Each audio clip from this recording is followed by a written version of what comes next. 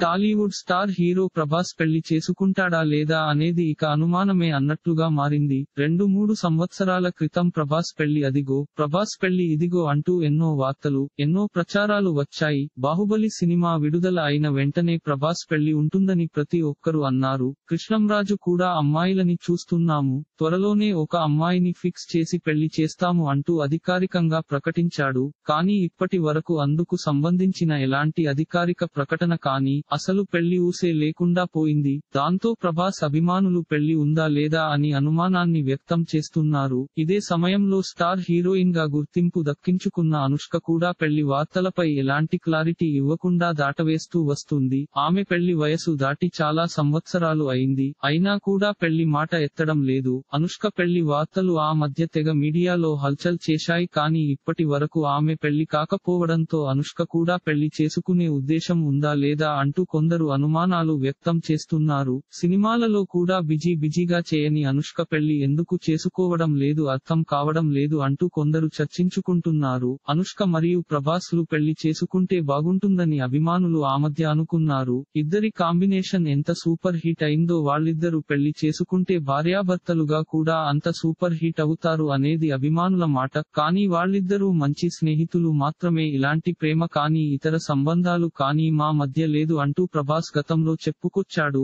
అనుష్క కూడా ఆ విషయాన్ని పలుమార్లు చెప్పింది. అయినా కూడా ఇద్దరి మధ్య ప్రేమ వ్యవహారం నడుస్తుంది అంటూ చాలా కాలంగా పుకార్లు షికార్లు చేస్తున్నాయి. దానికి తోడు ఇప్పుడు ఇద్దరు కూడా పెళ్ళికి సంబంధించి ఎలాంటి స్పందన తెలియజేయకపోవడంతో వీరిద్దరూ ఏదో ఒక సమయంలో పెళ్ళి చేసుకుంటే బాగుంటుంది. ఇద్దరి కలిసి సరికొత్త జీవితాన్ని మొదలు పెడితే చాలా బాగుంటుంది అంటూ అభిమానులు అభిప్రాయం వ్యక్తం చేస్తున్నారు. వీరిద్దరూ పెళ్ళి ఆలస్యం చేస్తున్నది కలిసి పెళ్ళి చేసుకోవడానికా లేదంటే మరి ఏదైనా కారణం ఉందా అనేది కాలమే నిర్ణయించాలి. ఇలాంటి మరిన్ని తెలుగు వార్త విశేషాలు కోసం ఛానల్కి సబ్స్క్రైబ్ చేసి గంట నొక్కడం మర్చిపోకండి. ఈ వీడియోని తోటి మిత్రులకి షేర్ చేయండి. మీ అభిప్రాయాన్ని కామెంట్లో తెలపండి.